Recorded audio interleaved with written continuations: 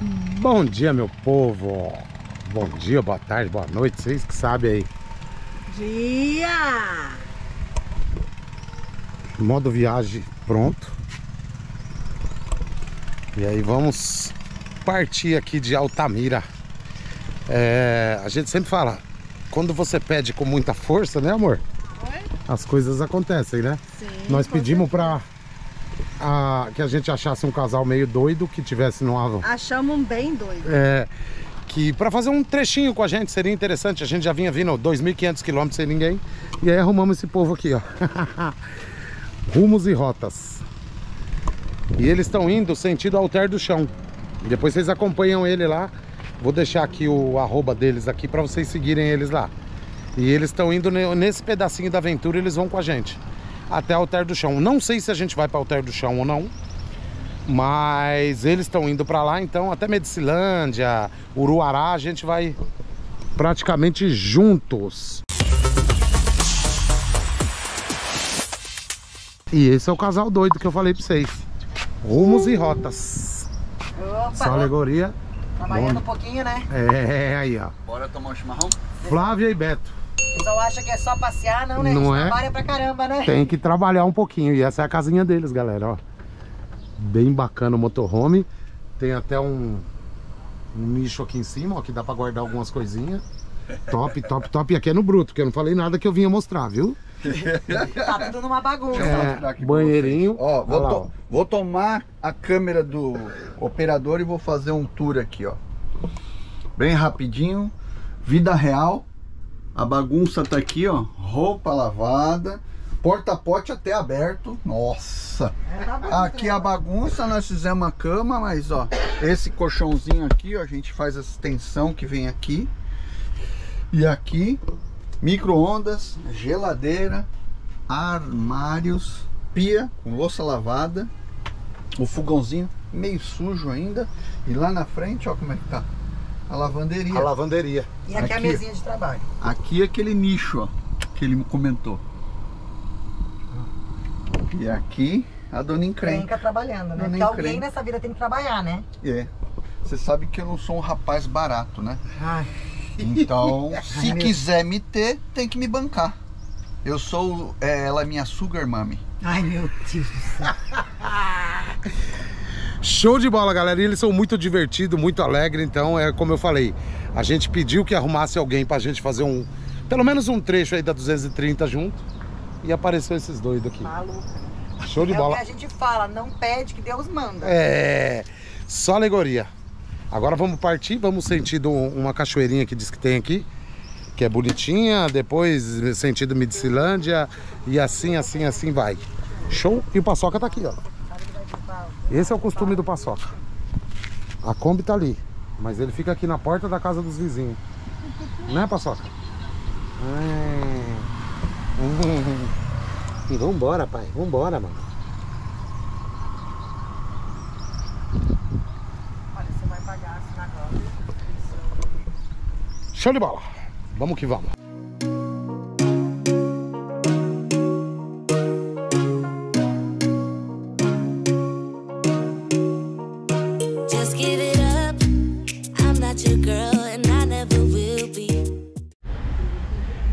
Antes de ir lá para Raízes do Xingu, vamos passar aqui deixar umas cartinhas aqui pra galera que comprou adesivo com a gente aí.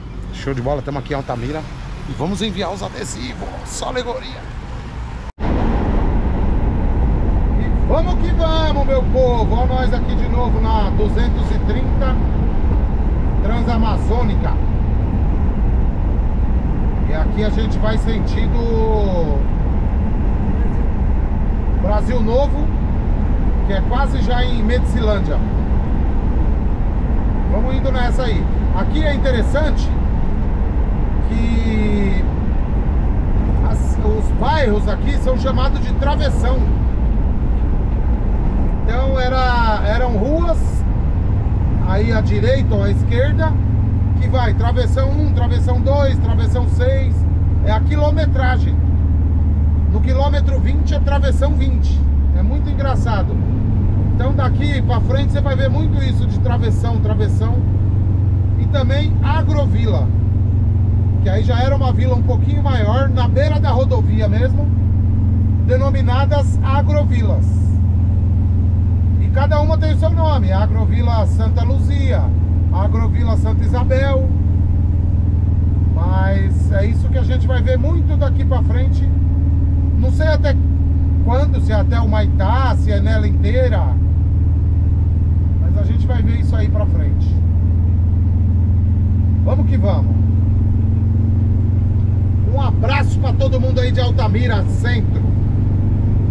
Gratidão pelo apoio aí que deram pra gente nesses três dias que ficamos por aí.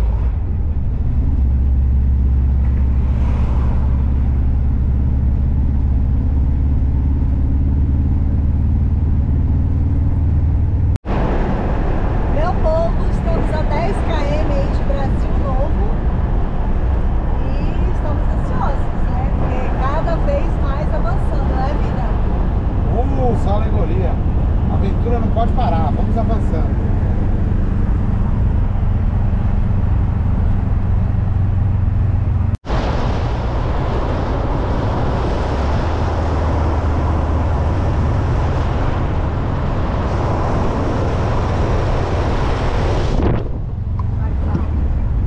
Virou aí, travessão 12.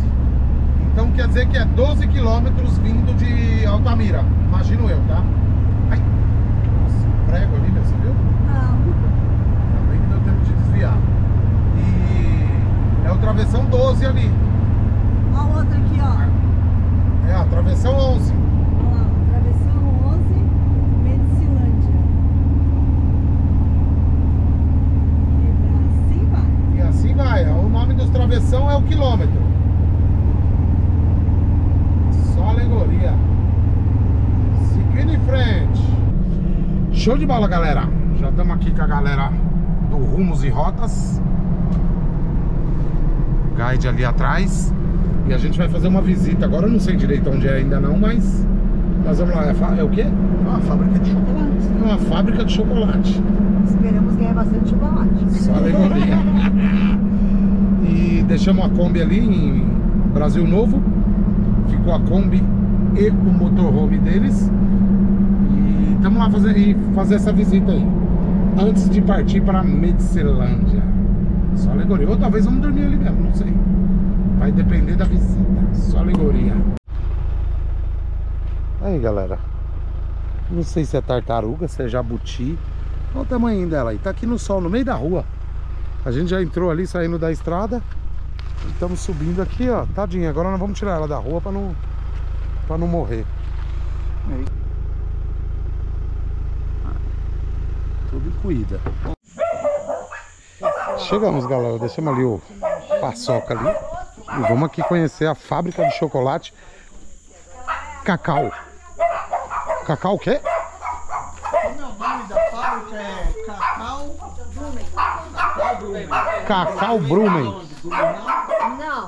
Joinville. Na verdade, eu sou catarinense e presidente mas de muitos anos de Joinville. Nossa, eu imaginei que fosse daqui. Joinville. Entenderam? Eles são de Joinville e estão aqui no Pará, cara. Que top. Pessoal, vamos mostrar pra vocês aqui, ó, a fábrica de chocolate aqui no Pará. Olha só. Aqui vai o, o, o, a de pó, né? E aqui o, ele vai quebrar o cacau quebrado. Pedrinho. Aí eu já vou mostrar Aham. pra vocês. Isso aqui é pra fazer o nibs, galera. Vocês vão lembrar que a gente comeu uma vez lá no Espírito Santo, nibs de cacau. É Tem pequenininho. cheirinho de A gente, cacau aqui, tem, hein? a gente tem vontade de crescer, de desenvolver, de crescer, só que a gente precisa de dinheiro. Vai devagarinho, vai Aqui- escalando na medida, né? Exatamente, exatamente. E aqui é a parte da onde eu faço meu chocolate. Ai, que geladinho, gente. É, Se não for gelado. Nossa, geladérrimo. Ai, que cheiro maravilhoso. Olha isso. Agora as mulheres vão. Olha isso, gente. Nossa. Vocês não têm noção, uma pena que a câmera não passa o cheiro. Senão estaria com muita vontade de comer. Pra quem é Aqui, chocolate. é, aqui eu estou fazendo um chocolate branco, né? Essa máquina está fazendo um chocolate branco. E aqui essas outras duas máquinas eu estou fazendo um 50% Ah, ao leite. E esse aqui é um 60%.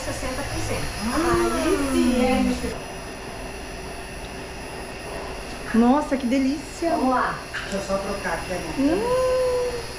Gente, que delícia. Nossa, muito bom. Porque o outro tem mais açúcar. Mentira.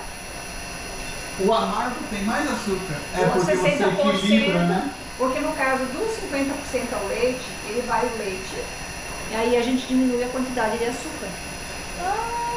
Porque pronuncia menos o gosto do cacau e o açúcar sobressai. Olha só, a gente sempre pensa errado, né? Aprendendo para vocês terem uma ideia. Tirar. Ó, gente, aqui ó tem o chocolatezinho já em barrinha, ó. Tá vendo? Mesclado, 60%, 50%, 70%. Chocolate com nibs branco, olha. Tá vendo? Vou legal.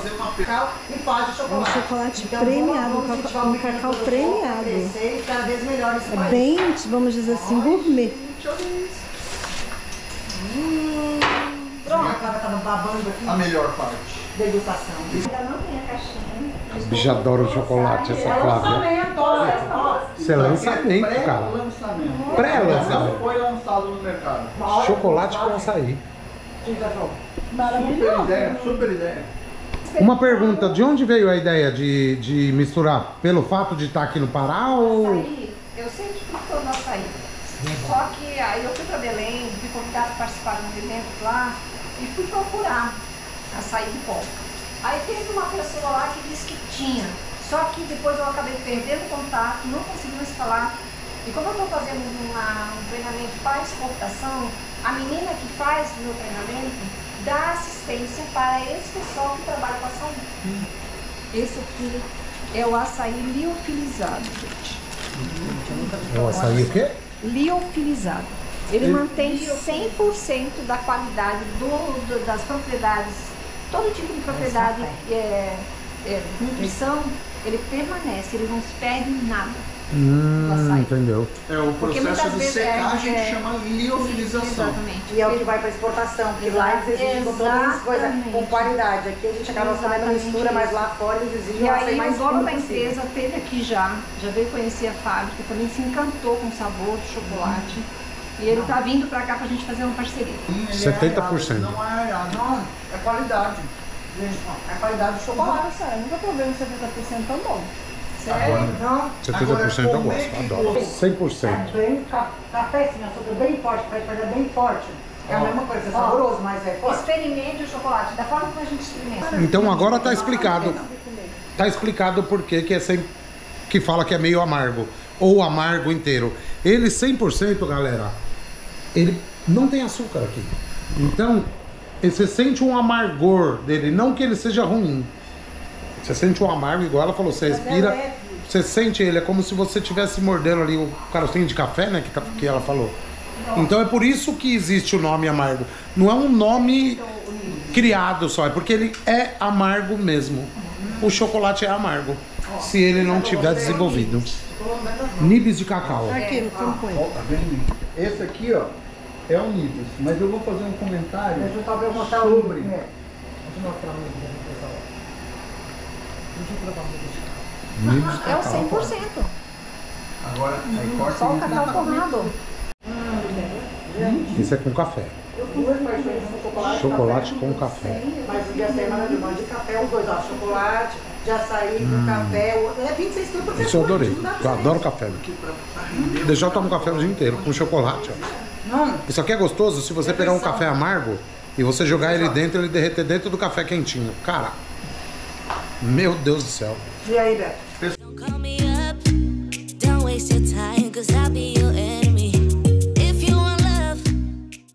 Isso é um cacau no ponto de maturação ideal para fazer todo o processo, principalmente o cacau fino, né? Para você ter uma amêndoa de qualidade. Foi inteiramente ele é assim. Toda revestida com polpa, né? Então isso aqui é uma é uma uma delícia do Pará, né? Pro pessoal, para quem está no meio da roça, às vezes quando pega uma fruta dessa aqui, pega essa amêndoa e Quem quer amêndoa? Mas mastiga amêndoa também ou só a polpa? Não precisa, se quiser comer. mastigar, pode. Mas a Mas polpa- amarga um pouquinho também. Mas a amêndoa, assim, a polpa é bem... O chocolate deles aqui, galera, ele, ele é é do início ao final eles produzem chocolate artesanal. Ele planta, é um, é um das melhores regiões aqui, tanto que é o terceiro melhor amêndoa do Brasil. É do Brasil, né? É a terceira melhor do Brasil. A terceira melhor amêndoa do Brasil e sai com aquele monte de chocolate que a gente mostrou lá pra vocês, aqueles tipos de chocolate. Cara, sensacional. Adorei, adorei. Principalmente o de café. Só alegoria. Entendeu? Que legal, bacana, galera. Ó, esse aqui ele usa mais pra polpa, vamos dizer assim. Pe- Pegou do pé, é ideal pra fazer polpa. Esse outro aqui, ele é maturado durante três dias. Ele é colhido, ele fica no chão para madurar no chão. pra madurar no chão, secar mais no chão e que ele é melhor pra fazer o chocolate. Isso, exatamente. Essa, essa, essa polpa aqui que está assim branquiçada, ela tende a degradar, ela vai derretendo. Aham. Aí com isso ali eu consigo fazer uma, uma fermentação mais E adequada. por isso que essa aqui é mais marejada, assim, vamos dizer assim, que essa é pra fazer polpa, é mais doce, vamos dizer assim. Ainda bem, ela- elas até têm bastante polpa ainda, porque nós estamos no período seco, já está okay, uns mais de um mês, já que chove muito pouco. Então a tendência dela é secar, mas ainda está tá, tá aguentando bem. Curiosidades pra sair um chocolate de primeira. Fica três dias no chão. Olha que bacana. Top demais.